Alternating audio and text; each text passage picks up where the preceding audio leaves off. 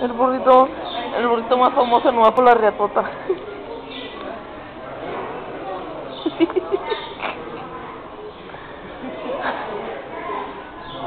Ponte al lado de él para que... no, para que se mire que tan chiquito está. El burro, no. Ponte.